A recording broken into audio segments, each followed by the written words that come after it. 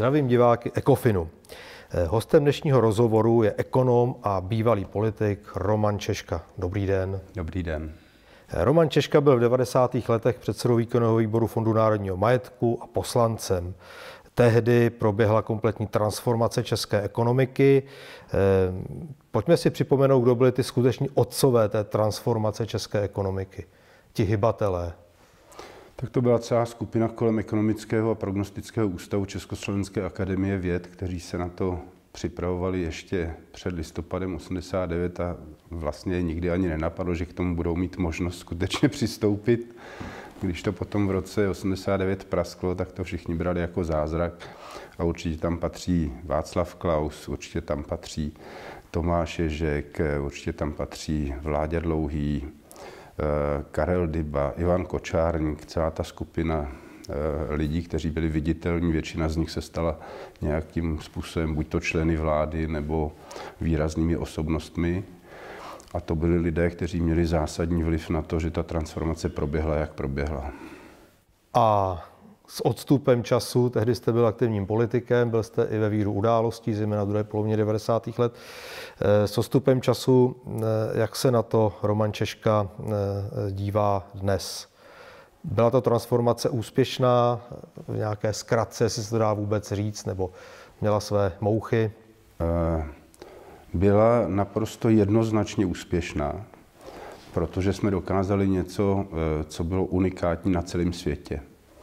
My jsme dokázali přejít od absolutně etatistické neboli státem ovládané ekonomiky k ekonomice soukromé. A to v situaci, kdy nebyl, eh, nebylo legislativní prostředí, nebyl kapitál, který by kupoval ty podniky, nebyly zkušenosti s podnikáním, nebyly zkušenosti s účetnictvím, s audity, s ničím takovým a zahraniční investoři o tuto ekonomiku neměli zájem. Dnes se velmi často říká, že se mělo privatizovat mnohem víc zahraničním investorům. Málo kdo ví, že tehdy platilo pravidlo, že jestliže byl zahraniční zájemce, dostal absolutní přednost, ale ono jich víc nebylo, protože tady bylo netransparentní prostředí a pro zahraniční investory to bylo jako vstoupit do džungle, sázka na třináctku, byla to prostě velký riziko. A myslím si, že se to podařilo a pozdější kritiky byly kritiky z pohledu někoho, kdo si není vědom těch historických souvislostí té doby, v které to bylo. Takže je to i trochu generační? Tak samozřejmě, že to povědomí o situaci, z které jsme vycházeli, postupně mizí, protože ti lidé, kteří si dobře uvědomovali, v jaké situaci ekonomika a stát byli, tak ti stárnou a někteří umírají. Eh, patřil jste tehdy k těm nejtalentovanějším politikům své generace. Eh, eh, oplýval jste i mládím a energií, což v té době bylo velmi nutné. Eh, proč jste tehdy pak velmi záhy z té politiky odešel? Na konci 90. let? Tak já jsem se nikdy moc nepovažoval za politika, já jsem byl spíš někdo, kdo veřejně sloužil. Já jsem devět let dělal privatizaci, vlastně od píky. Začal jsem jako poradce ministra, potom jsem byl náměstkem ministra, potom jsem byl šéfem Fondu národního majetku.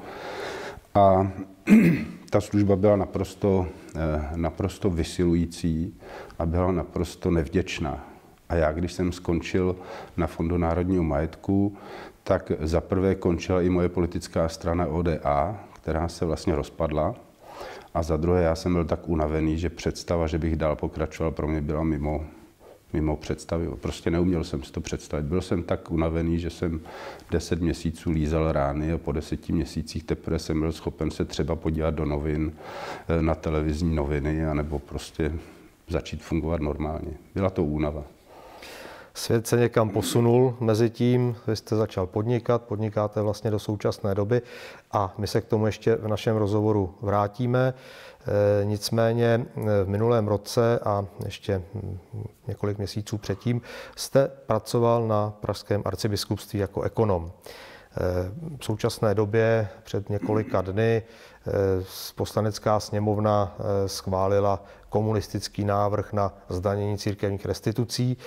A protože vy jste byl v tom epicentru eh, vlastně jakoby na druhé straně tak bych se vás chtěl na některé ty věci z oblasti církevních restitucí zeptat.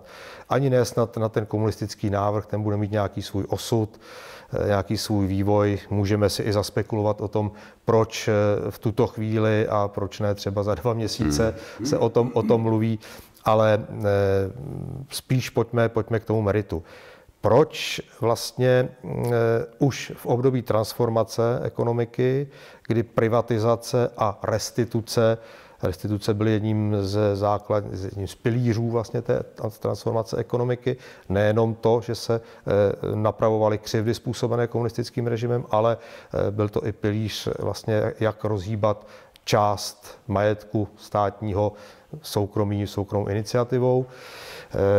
Proč se tehdy vlastně neřešilo i eh, restituce církevní? Církevní restituce jsou fenomen, který eh, vlastně celou dobu provází takový na jedné straně velký ostych, na druhé straně pocit viny a na třetí straně populismus. pocit viny vedl k tomu, že bylo od začátku jasné, že s církvemi je třeba se vypořádat, protože to, co na nich napáchali komunisti, bylo prostě darebáctví. Oni likvidovali církev hmotně, likvidovali církev mentálně, likvidovali církev tím, že lidi od církve odřezávali. Eh, byl obrovský tlak na to, aby lidé nechodili do kostela, byla ideologie, která byla církvi nepřátelská.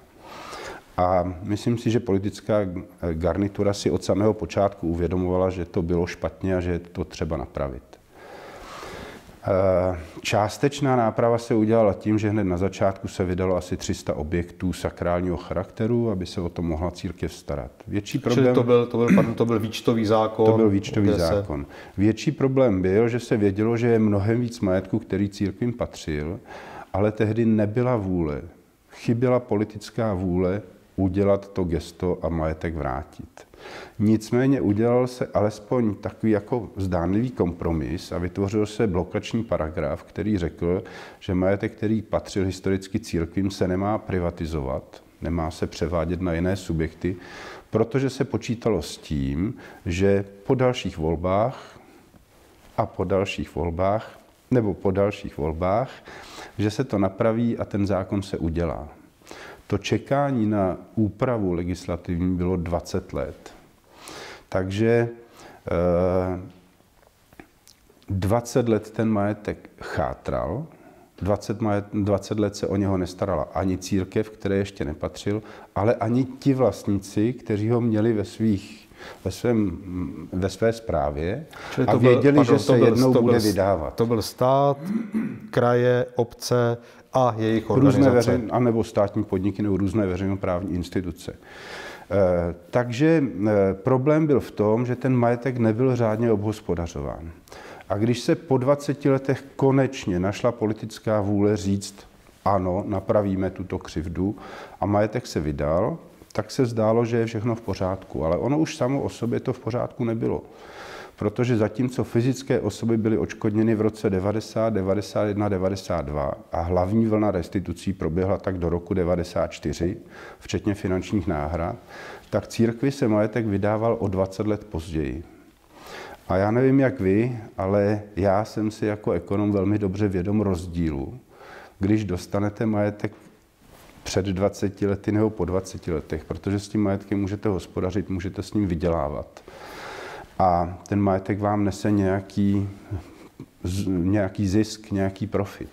Takže církev tady byla poškozena tím, že se za prvé vůbec znárodnilo, že vůbec došlo ke znárodnění za komunistů, že 40 let byla odstřihnutá od toho majetku a dalších 20 let byla odstřihnutá už novou demokratickou garniturou, novým demokratickým režimem a na ten majetek přesto nemohla šáhnout.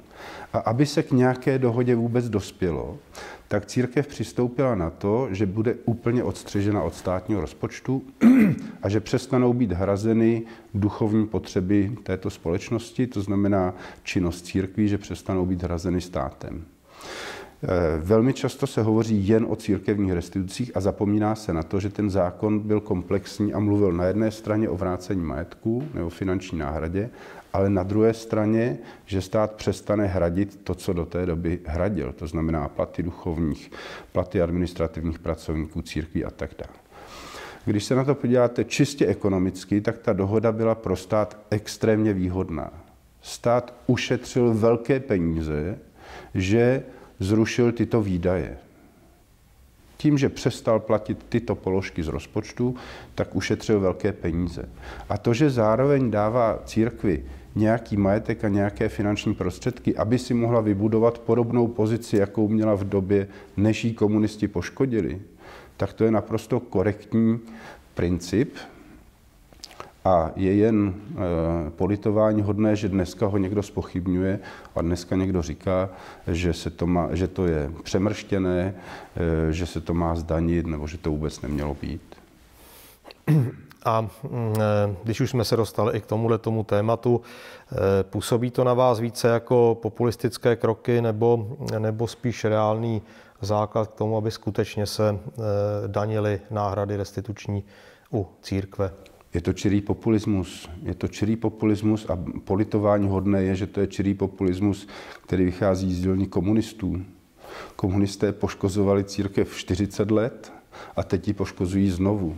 A poškozují ji nejen e, ekonomicky, poškozují mnohem víc reputačně, protože církvi se díky této dlouhé anabázi dostalo půlce organizace, která vlastně touží jenom po majetku, která ehm, nemá žádný duchovní obsah a jenom jde o majetek. Tak to prostě není. Tady šlo o to narovnat nějakou křivdu a ten etický prvek z toho úplně zmizel. Dneska zase se mluví jenom o penězích a nemluví se vůbec o té duchovní službě. Eh, komunisti se pohybují v průzkumech preferencí někde okolo 6-7% To je eh, příliš čili... mnoho na můj vkus. Přesto otázka, jak může strana s tak malým eh, volebním potenciálem takto zásadně zasáhnout do společnosti. Eh, každý trpaslík vás bude ovládat, když vás bude s prominutím držet za pitlík. A tato strana drží dnešní vládní koalici za pitlík, takže si může klást podmínky a jedna z nich je tato hanebná podmínka o církevních restitucích. A proč se projednává ta věc na konci ledna v poslanecké sněmovně?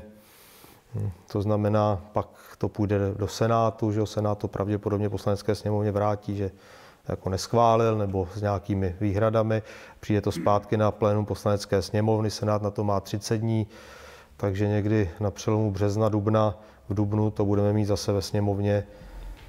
Proč se to projednává teď? Asi protože to konečně někam doklopítalo. Popravdě řečeno, já jsem spíš příznivcem toho, ať se to rozsekne rovnou, ať to rovnou může jít někam k ústavnímu soudu, ať se rovnou ví, v jakých podmínkách vlastně církev bude fungovat. Jinak a... ještě, když se vrátím no. k tomu, jak byla církev poškozena, jo, tak když si vezmete, že jste mladý člověk a koupíte si byt na hypotéku, tak za 20 let ho máte splacený. To znamená, vy jste vlastně vydělal hodnotu toho bytu. Kdyby církev dostala ten majetek před 20 lety nebo o 20 let dříve, tak za těch 20 let by tím zhodnocením majetku získala zhruba dvojnásobnou hodnotu, o kterou přišla. Takže jestli dneska někdo hovoří o tom, že ty restituce byly nadhodnocené, tak já říkám, že byly krutě podhodnocené a chyběl v nich velmi důležitý aspekt a to je časová hodnota peněz. A časová hodnota peněz je něco, co v té ekonomice Eh, funguje jako základní axiom. Když jste podnikatel a vstoupíte na trh o měsíc později nebo o měsíc dříve, tak to velmi často je naprosto zásadní rozdíl, jestli budete nebo nebudete úspěšní, jestli z vás bude milionář, miliardář, anebo jestli z vás bude holá zadnice.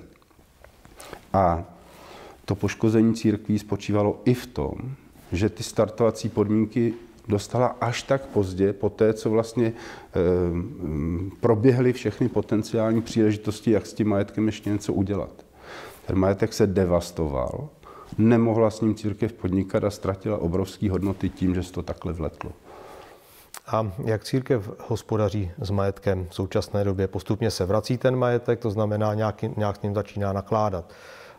Tak zaprvé je třeba si uvědomit, že ten majetek, který se nakonec skutečně vydal, to je ten méně hodnotný majetek, protože ten hodnotný se tomu státu prostě podařilo zašantročit, podařilo se ho převést na takové organizace, které ho nevydávají a tak dále. Já třeba vím, že v pražské arcidiecézi tam se vydal majetek eh, téměř za 5 miliard ale absolutní většina té hodnoty byly lesní cesty, které podnikatelskou hodnotu nemají, protože na lesní cestě si ani stromek neporazíte, abyste ho prodal na dříví, ale musíte do něho investovat, abyste vůbec mohl něco v tom lese dělat. Takže já říkám za prvé, že ten majetek je nadhodnocený a lidi mají velký oči, jak jsou ty církve bohatý, nejsou. Dostali v podstatě chudej majetek. A dostali ho v situaci, kdy v dnešní době, když máte investovat a dostanete 4% zisku, tak jste úspěšný podnikatel. Ještě před 15 lety se běžně investovalo s 20%, 15% ziskem. Ale o tu dobu, kdy se takhle dobře dalo investovat, církev přišla a vstupuje do toho ekonomického prostředí v situaci, kdy je velká konkurence, kdy jsou ceny našponované a výnosy jsou strašně nízké. Takže výsledek je, že jestliže si ještě v roce 2011, kdy se ten zákon přijímal, někdo myslel, že si církev tímto majetkem a finančními náhradami vydělá na svůj provoz a bude tak nezávislá na státu a de facto i nezávislá na jakoby nějakých dalších ekonomických vlivech, tak je to naprostá iluze a církvi se to nemůže podařit. A zbývá jediná cesta, a to je obrátit se na své věřící, aby ji začali podporovat. Zajímavá budoucnost. Uvidíme, jak se vše bude, bude vyvíjet. Není úplně zářná. Pojďme eh, k dalšímu tématu. Eh, jak už jsem uváděl na začátku, eh, vy jste vlastně od, rok, od konce té, té, té aktivní politiky začal podnikat. V podnikatelském prostředí se pohybujete do dnešní doby. Eh, mě by zajímalo, jak se eh, Roman Češka jako podnikatel dívá na podnikatelské prostředí v České republice. Tak já jsem měl docela unikátní příležitost, kterou myslím, že nemá mnoho lidí.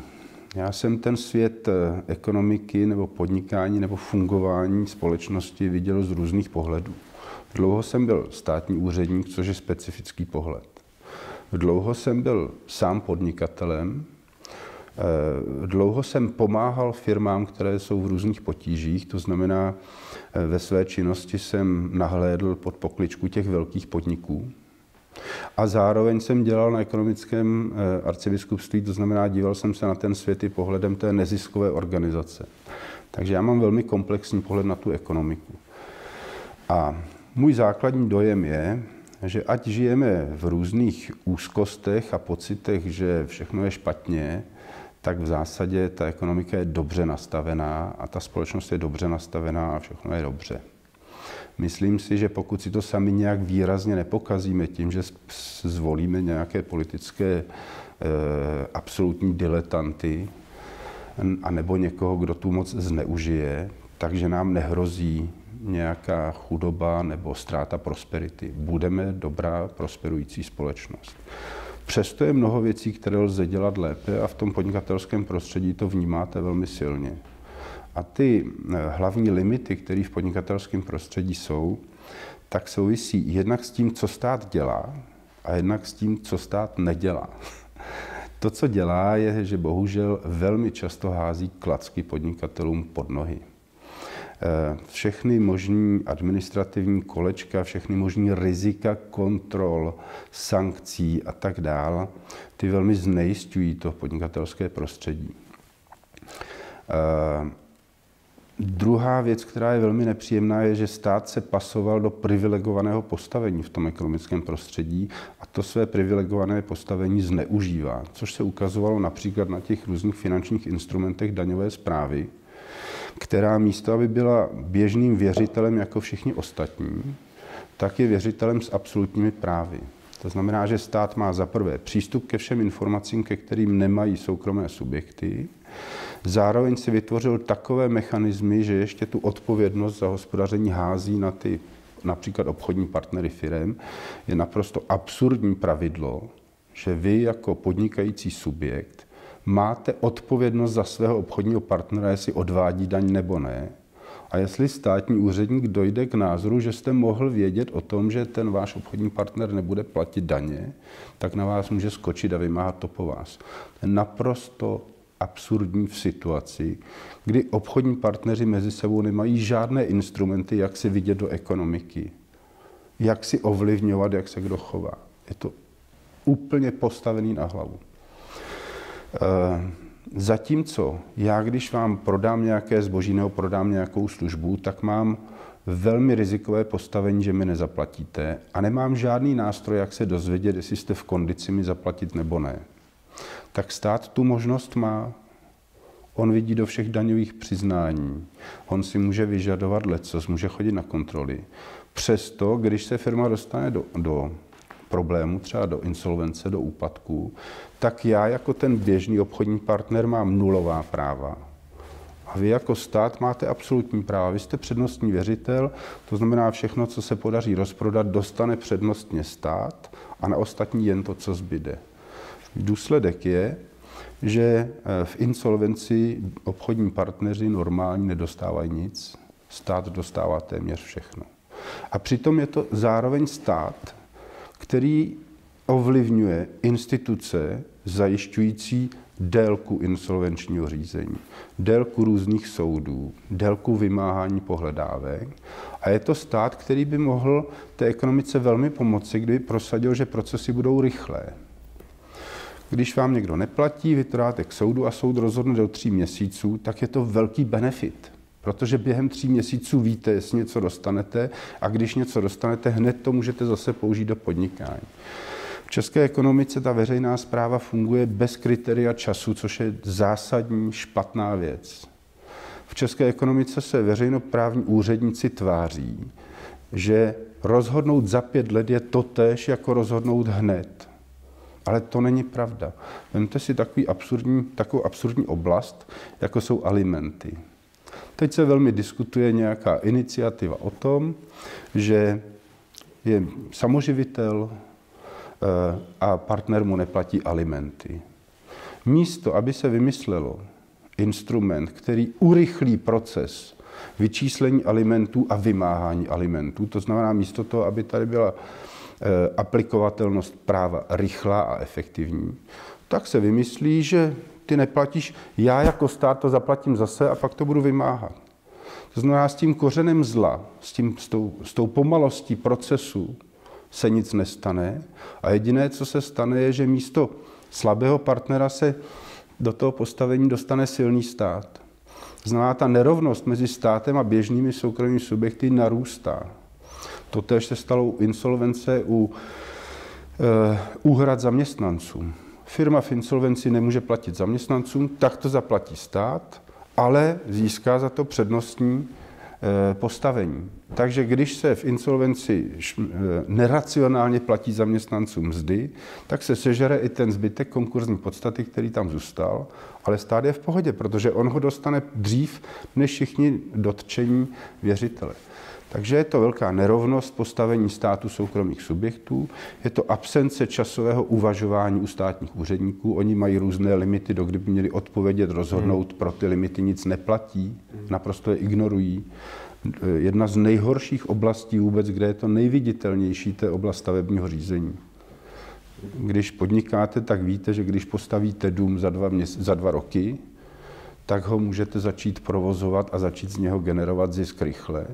Ale když vám to trvá 10 let, tak jste o 8 let zisku přišel, 8 let vám narůstají finanční úroky a dostáváte se do absolutně jiné pozice. A my, naše úřady fungují tak, že jim to úplně jedno, Oni prostě deset let vyřizují stavební povolení, pak ho z nějakého důvodu zaříznou a vy jste jak nahý v trní a nemáte žádnou obranu. Když se Takže tom, to je to nejhorší, když se co o tom stát dělá. bavíme a říkáme pojem stát, tak eh, samozřejmě dám vám očekávatelnou otázku. Co s tím může nebo dělá vláda? A co s tím dělali předchozí vlády? Tato vláda bohužel eh, s tímto základním problémem, to znamená postavení státu vůči ostatním subjektům, nedělá nic. Já eh, v těch zuřivých diskuzích o Babišovi, o jeho charakteru a tak dále zůstávám poměrně chladný a nezapojuji se do nich a skoro mu věřím víc než Standovi Grosovi, že to myslí upřímně a že skutečně chce něco dobrýho dělat pro tuhle zemi. Ale v realitě to nedělá. A nedělá to z několika důvodů. Za prvé, protože je populista a on reaguje hlavně na to, co chce hlas lidu. A hlas lidu je prostě iracionální. Ten reaguje jenom velmi instinktivně a na to, co zrovna běží, co zrovna frčí, co zrovna bolí. Druhá věc je, ta vláda je skutečně držená za kulky a nemůže dělat to, co by chtěla. Takže i kdybych věřil panu Babišovi, že chce dělat racionální opatření, ne všechny jsou mu dovoleny. A za třetí, on nepochopil ten hlavní limit tohoto státu a to je mentalita úředníků. On nepochopil, že dokud se úředníci nenaučí uvažovat v časových kategoriích, dokud úředníci nebudou mít přísnou odpovědnost za to, že rozhodli včas, tak to nebude fungovat. A další fenomen, který je strašlivý na dnešní době, je, že se strašně kriminalizovalo to prostředí tak, že se úředníci bojí rozhodnout. A myslí si, že když nerozhodnou a nechají něco vyhnít pět let, deset let, že je to lepší, než kdyby rozhodli špatně. Ale v reálné ekonomice to funguje přesně opačně. I špatný rozhodnutí rychlý je lepší, než něco, co se vleče. Jo? A pokud s tímhle nebude vůle něco udělat, tak to fungovat nebude. A tahle vláda bohužel tuhle vůli nemá, protože si to neuvědomuje. Říká v dnešním rozhovoru pro Ecofin Roman Češka. Já vám děkuji za rozhovor a někdy příště na viděnou. Naschle.